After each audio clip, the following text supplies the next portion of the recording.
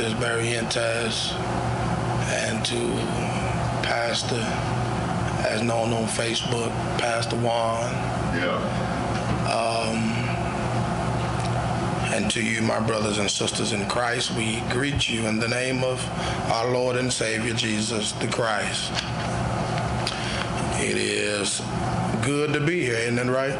Amen. All right, now I'm away from home. Let's get this established real quick.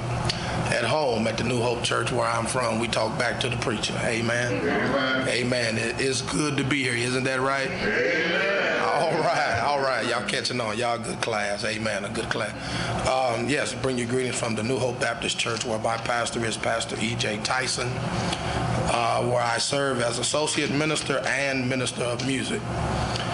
Um, that is my church. That's the only church I know. Amen. I was born there and I'm still there. And if it wouldn't be today, I'd be sitting on the organ right now. Um, let me thank Pastor Juan for this opportunity um, to come and to share. Uh, he knows a lot of preachers. As a matter of fact, he could have just let his dad preach the whole month. Uh, but for this opportunity, he did not have to call me to come and to share. So thank you, brother, and uh, I want to acknowledge my wife back there. Uh, wave your hand, baby. Ain't she cute? Boy, she cute. She? And then, and then I brought some amens with me. Amen. Amen. And, uh, nine and seven. Amen. Keontae and Tayshawn. Amen. So if y'all don't say nothing, uh, they will. But also, if y'all treat me bad, Keontae is security. And he will see, he waved his hand, so don't mess with his daddy. Amen. Um, I was torn today because uh, last week, uh, I'm sure you all were blessed by Pastor Barrientez Sr. with the word Pastor Juan through the wonderful use of technology posted Doc posted the video. And uh, I said well let me just see what Pop talked about. And wouldn't you know it that the very text that I've been studying for the last three or four months trying to get ready for this occasion was the very text that he preached on last week. And so after I just turned the video off, I didn't even want to listen to it no more. I just said, you know, oh my goodness, what am I going to do? Uh, I text Juan and say, man, your dad stole my text. and he said, well, it must be God, along with the LOL on the side. And so I prayed. I said, Lord, you know, I, I don't want to do that. Please give me something else. You know, that was my prayer. And I'm still waiting on him to answer. So being that he ain't gave me nothing else, let's go back to Romans chapter 8. Amen. And for reading purposes today and this discussion, we want to look at Romans chapter 8. We're going to read verse 28. We're going to read verses verse 31. And then we're going to close out with verse 35 through 39. All right. And let me give a disclaimer. Uh, I'm a preacher. So at any given moment, I may holler. Right. I may get loud. I ain't being mean. I just love the word of God. Amen. And I get excited. Amen. Anybody get excited about Jesus? Amen. You know what I'm saying? We miss that from church. You know what I'm saying? We come to church now, we just come and put on our good church clothes and we drive all this way at four dollars a gallon and then we're not excited. If you're gonna get that dress, you never mind. Anyway, this ain't my church. Listen, y'all ready? Y'all got it? Romans chapter 8. Romans chapter 8, you ready?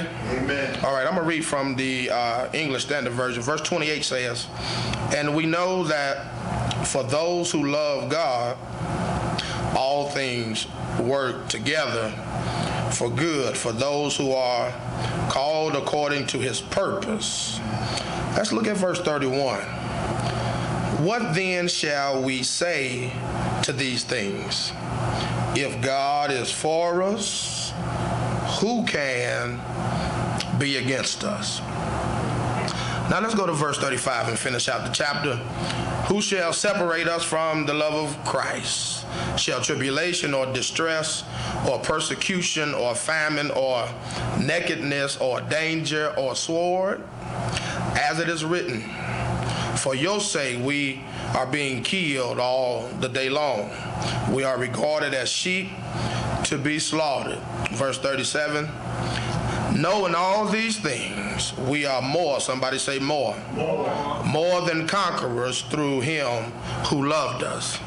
For I am sure, your Bible says, for I am persuaded that neither death nor life, nor angels, nor rulers, nor things present, nor things to come, nor powers, nor height, nor depth, nor anything else in all creation will be able to separate us from the love of God in Christ Jesus our Lord. Amen. The grass withereth, the flower fadeth, but the word of our Lord will stand forever. Amen. Dealing with your theme and building the kingdom of God and manifesting in that. The only way you can do that is that you have to become inseparable to God. All right. Mm-hmm. And that's what I want to talk about inseparable. Not Natalie Cole's version, but what we're going to try to argue in this text. Uh, becoming inseparable is important. And the most one of the things that is important in my introduction that is important is that you have to have the right connection. Right. Mm-hmm. Um, used to install internet services for this lab and um, come to realize that there are different types of connections. Yeah. And so it is for the believer that we have to have the right connection.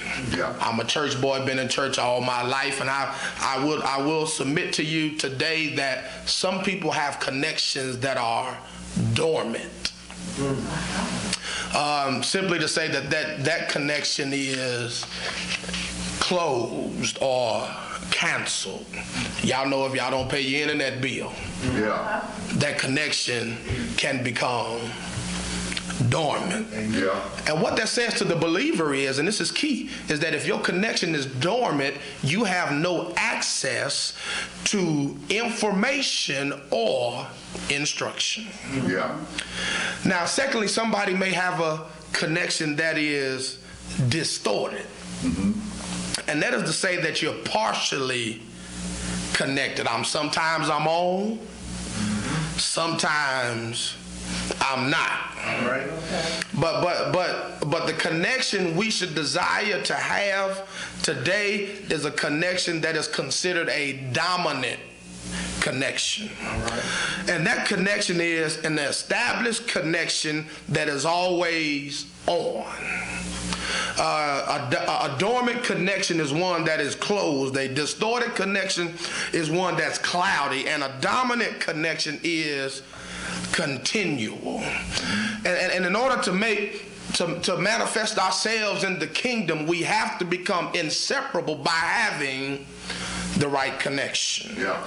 And as we look at our text today, uh, uh, becoming inseparable, we will discover that life, first of all, will bring about some challenges. Right. So my first point is, is that, that we will be overwhelmingly challenged. And, and, and, and, and if we can be real in here this morning, uh, uh, uh, I want to submit to you that problems and challenges are real. Yeah. Uh, I, I, I, you know, some of us come to church and we smile and try to act like we got it all going on. But but but if I'm here by myself, I'll testify myself. Sometimes I have some challenges, and them challenges are real. Amen. Yeah, yeah, they're not a myth. They're not a figment of my imagination. They're they're not psychosomatic. They are real. Yeah. And if y'all could testify today, uh, I'm sure some of you all would agree to me that you've had some challenges and you've had some big challenges, and those challenges are real. Amen. Amen. Yeah. Not only are those challenges real, but those challenges, Pastor, those challenges are rough. Come on, talk to me, somebody. Is that these challenges can be rough. Sometimes it's just too much to handle. It- It's too much to handle. But let me just throw this in here parenthetically here. The old song says, I'm coming up the rough side of the mountain. And, and many of us don't want to climb the rough side of the mountain. But let me tell you something. When you climb the rough side of the mountain, it's easier to make it to the top than it is on the smooth side. Oh, yeah. Oh, I ain't got no help. Because on the smooth side, you ain't got nothing to hold on to. On the smooth side, you can slide down just as easy as you get up. But on the rough side, All right, all right. you got to hold on. And, and the good news of, the, of it is, is that when you finally make it to the top, you will discover that you have enough strength to stay up top. All right, all right. Oh, you can appreciate it more. I, I, I, my mom used to always tell me that, you know, if I get stuff the easy way, I'll never appreciate it. If I get a woman the, y'all don't, don't get mad at me. If I get a woman the easy way, I ain't gonna appreciate it. But if I got to work for it, Yeah, yeah, yeah.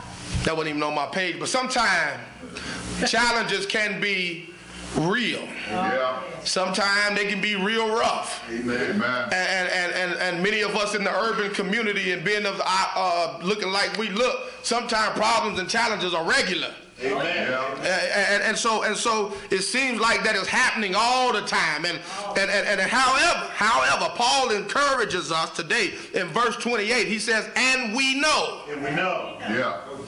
That all things uh, uh, uh, and, and, I, and i love it when i got the revelation on that because all things says good and bad things Yeah, yeah. come on talk to me will work together for good Amen. Amen. So although the challenges are, are, are, are real and rough and real regular, if we have the right relationship with God, because the Bible says for those who love God and are the called according to his purpose. If you love him, have the right relationship, the good and the bad, the real problem, the rough problem, the regular problem work together Yes, Yeah.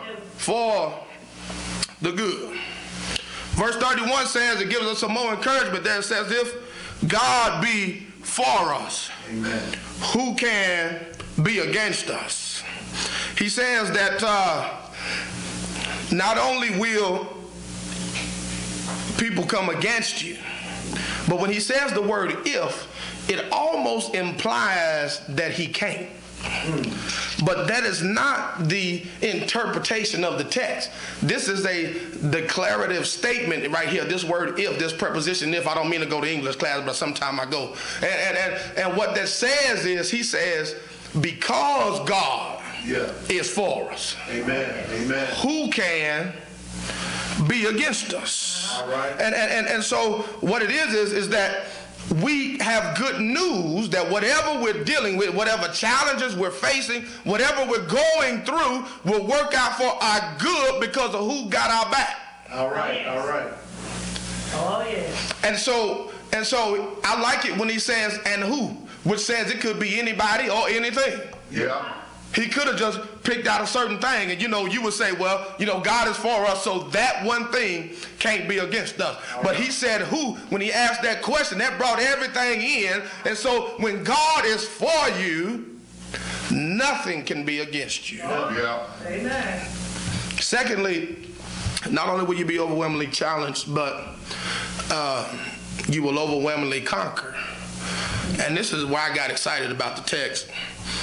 Uh, verse 37 says, uh, Nay, in all these things, we are more than conquerors through him that loved us. And sometimes I overthink, and uh, I got stuck on the words more than Yeah. Mm-hmm. because I thought conquering was just good enough. Amen. Yeah. You know, I've been a musician for a long time, and I thought uh, Kirk Franklin wrote a song and said, "We are conquerors," and you know, Vashawn Mitchell had a song about conquerors. But it sounds good and it's encouraging, but that's not what Paul says. Yeah.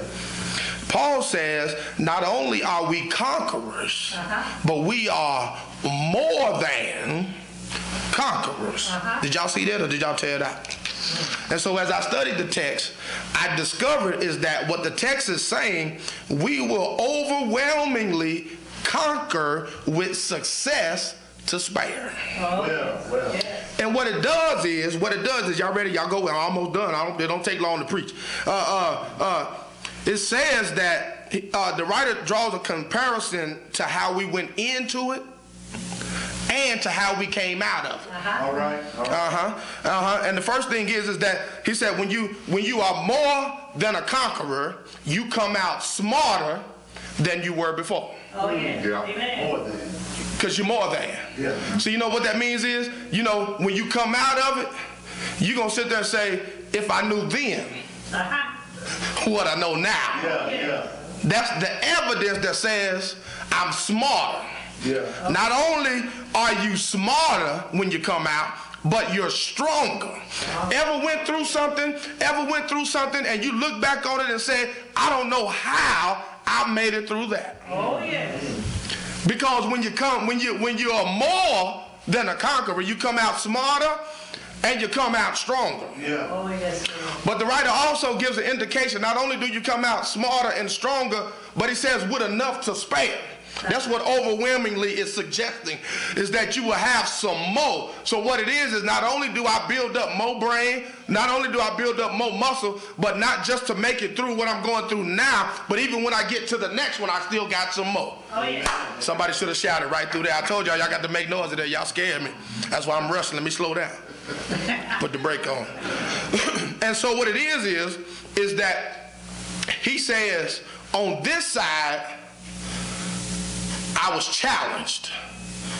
But when I came through, I was more than. Uh-huh. More than. See, we get stuck. We just want to be victorious. But that's not what it says. Yeah, It says, I'm more than that. Oh, yeah. yes. Because I'm inseparable. I'm connected to God. Amen. So I'm connected to God. And see, let me say this. Let me throw this in here. This ain't on my page either. Please forgive me. I'm just getting all off my note. But quit letting people tell you all wretched and you all downtrodden. I mean, I know, I know we're nothing compared to God, Yeah. but we are somebody. Yeah, yeah. There's more scriptures that God, uh, Paul also says in Colossians that you are the elect of God, which means you are somebody. Yeah. God chose you. And if you was nothing, why would he choose you? Oh, Amen, yes. amen. Yes. And so we have to understand that that we are more More. than a conqueror. And and so I'm moving on. Y'all not gonna talk to me today. All right, go ahead. So I'm gonna move to this last Take thing. And uh and I hope I don't stay here too long. Not only will you overwhelmingly be challenged, that's just a fact of life. Uh, John, John the beloved writes in his gospel, he says, in this life, you will have trouble, Oh, trials, whatever the translation you have.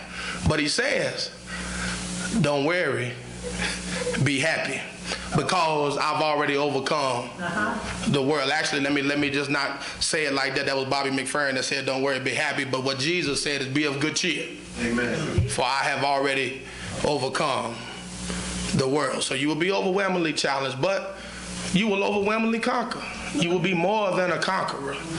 But not only that, be, it's because of that that Paul, right here, he begins to shout the end of the text. He shouts the end of the text by saying, I'm overwhelmingly convinced. Uh huh. This is what it says. You got your Bible still open, don't you? It says, For I am persuaded that neither life, that neither death nor life, nor angels, nor principalities, nor powers, nor things present, nor things to come, nor height, nor depth, nor any other creature shall be able to separate us from the love of God which is in Christ Jesus our Lord. Paul says, I'm convinced that nothing will be able to separate me that makes me inseparable from the love of God. Now, let, now, now, I love to play with the Bible, so so let me let me just draw some conclusions here on how Paul changes the text. Uh, uh, we started out talking about our love for God and what happens. Okay? We, we talked about what he says in verse 28, and we know that all things work together for good for them who are the called and the, who the ones that love God. He's talking about the way we love God. But then all of a sudden, he came, he became convinced. Yeah. And so his convincing had nothing to do with his love for God, but it had to do with God's love for us. So he changes how he was talking. First, he was talking about how we loved him. Yeah. But now he's saying on how God loves us. Yeah. And, and so I love the word persuaded because it gives a indication that he wasn't always there. Yeah. Oh, yes. If you have to persuade somebody prior to your persuasiveness, uh-huh. They must not have believed. Amen. As a matter of fact, I just got through teaching in Sunday school in the seventh chapter of uh, of uh, Acts, uh, and where Stephen was being stoned, and, and and when they begin to lay the clothes at a certain person's feet, it was that certain person by the name of Saul. His name was Saul because he wasn't persuaded yet. My goodness! And so what happened is because of Stephen. See, people don't, and I saw that today because of Stephen standing on the promises and the principles and the practices of God. He began to that that seed had to have been implanted in Saul. And so when Saul, he still was a murderer. He still was trying to persecute the church. And Saul was on his way to Damascus. And then on the road to Damascus, he had an earthquake and fell to his knees. Uh-huh. And, and, and he was blinded. And, and, and he began to go and he became one of the greatest apostolic preachers of that we know even right now. And so when he says was is that I hadn't always believed, but because of all of the things that I did and all of the things that were done to me, if it had not been for God on my side, I don't know where I would be. And so now I'm persuaded. I'm persuaded. How how how can he be persuaded? Well, I got two things and I'm done. He he, he said he's convinced when he looked at the life of Jesus. Uh, he looked at Jesus why he he loved, why he uh, lived. Uh, said on Facebook the other day that that that three things God demonstrated His love in Jesus' birth. You saw love initiated. In Jesus' life, you saw love elucidated. And then when you see Jesus' death, you saw love authenticated. Yeah. And what happens is, is that when Jesus began to show His love while He was living, He was feeding the sick, He was healing the, the, the uh, He was healing the sick, and He was feeding the hungry, and He was going about all the stuff that He wasn't even supposed to be doing. Oh, yes. All right. Come on, somebody. And that's why now we still caught up in the miraculous part of Jesus. But there was a woman whose daughter was grievously vexed with the devil, and she kept calling him Lord, Son of David. And that word right there means that he's a miracle worker. But it wasn't until she called him Lord and took the Son of David off that he said, Woman, great is your faith. And now not only are you healed, but your daughter is too. And so what happens is, is that she became persuaded. And, and, and even though he called her a dog, even though he ignored her, he informed her, and then he insulted her, now all of a sudden she's still saying, I'm not, I still need you to do it. I still need you to do it. And she said, truth, Lord, even, but even the dogs get the crumb from the master's table. Yeah. And so, so not only was Paul convinced by the way he loved while he was living, but last of all, he was convinced by the love he showed when he left. And we talking about Jesus. See, see, so so so he was wounded. That's what the Bible says for our transgressions. He was bruised for our iniquity. He was per he was pierced for our guilt. He was suffering for our shame. He was tortured for our shortcomings. He was beaten for our wrong. He suffered not because of what he was, but because of what we was. So I am convinced. I wish I had some help. Now I'm done. That I'm convinced that regardless of what I'm going through, can't nothing separate me from the love of God. Not because of what I've done, because I know I ain't done everything correct. But when Jesus died on the cross, when he died on the cross and he shed his blood, the Bible says, for without the remission, without the shedding of blood, there is no remission of sin. So because he shed blood, he shed blood for their sins and my sins and your sins and my baby's sins and them to come sin. And so I'm persuaded that even at the end of my road, that I can go to a heaven where the streets are paved with gold, the walls are covered with jasper, 12 gates in the east, Three gates in the east, the north, and in the south. And I'm going to sing holy, holy, holy. And I wish I had somebody out there that was persuaded that, that no matter what you're going through, that you're going to trust him. Trust him. Let me share in closing that every church is a mega church Amen. Oh, yes. if you got a mega mentality. All right. If you don't do nothing but save one person, Luke chapter 15 says the angels in heaven rejoice over one lost soul.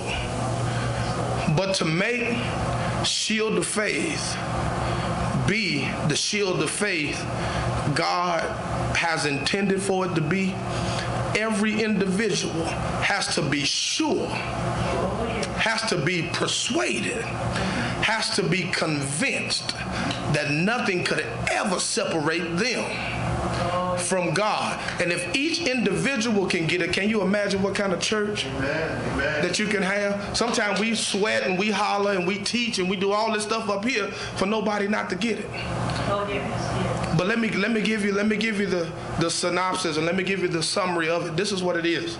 You're gonna go through something. Oh, yes. You're gonna go through something. Yeah, But the payoff yes. Is far greater than what you go through. Some people are hurting. People are health have health issues. I never understood why my grandma, she was never broke. And if I told y'all what she made, there's nowhere in the world we can make it now. She made about 800 a month. She look at y'all, but she made it. Oh, yes. Whenever we needed something, we can go by grandma house. But now we didn't got big, got flat screens, got decent jobs, and, and broke as a joke because we won't do it God's way. Oh, yes. Not only not doing it God's way with your finances, but even in your relationships. Oh, yes. We have a lot of people who pick, they don't pray. Uh-huh. You know what I'm saying? And so what it is is, is I'm concerned about our generation.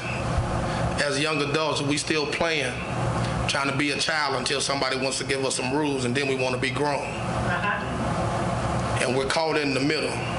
And I want to share with you that I haven't worked since 2009, in July of 2009. But I serve my church, I serve my pastor, serve my wife, serve my kids. And I ain't never missed a meal. And what God did, they created a position at the church. So instead of getting up to go clock in at some other place, I go down to the church every day. Amen. But what? But it's, it's, I'm not saying that because for you all to one day start working at the church. I'm just saying that if you are led by God and are responsible with the things that He's blessed you with, He's going to bless and open doors you can't even imagine. That doesn't mean that you're not going to have struggles, but you know the end of the story. The Lord shared with me something yesterday as I was watching OU. Oh, did I say that out loud? I knew I get some amens on that, pump. Don't y'all let my phone go off because the fight song might play. But uh,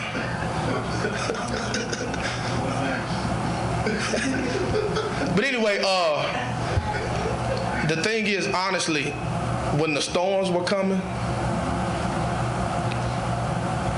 the storms didn't last. Yeah, no matter what devastation is done, it's still over. Yes. When you know it's coming, you can take shelter. Amen. And it don't last always. We grew up from 86 to 79th Street in one of the toughest neighborhoods in the city. But guess what we doing now? Yeah, I still wear red. all right. Pops used to drive a red Cadillac. No, I'm just playing. But what I'm saying is, is that I want you to be serious about your Christianity and about your salvation because there are people just outside the door, literally and figuratively, that are going to hell. And the problem is there's nobody in the church that look like Jesus.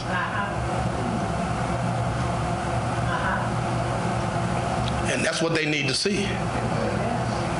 When you said you give yourself away so he can use you, that don't necessarily mean use you here because it's cool, y'all got good, comfortable seats.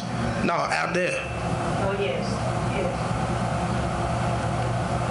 So if you want to be manifested in the kingdom of God, you got to be inseparable. You're going to be challenged, but you will conquer. And so hopefully when you leave today, you'll be convinced that I'm not going to be separated. I might have came in here today with doubts. I might have came in here doubting, what is this thing all about? Every time I try to live more for God, stuff seems to get worse. Oh, yes. Let me share with you uh, Psalm 73, Pastor, and I'm done. Uh, David began to write, he was didn't understand why the wicked was prospering. Yeah. Didn't understand why they was prospering and no and no uh, uh, uh, punishment and didn't didn't get it. But I think around verse 17, David said, "I understood when I went to church." And that's what it is. It doesn't what the world does and throws at you does not matter. Because when you come into church, you will get the tools you need to go defeat the world. And the, the world is already defeated.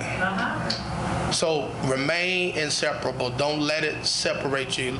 Last scripture, because so y'all can say I gave y'all some Bible, is Romans chapter 12, verse 2. It says, Be not conformed to the world, but be ye transformed by the renewing of your mind.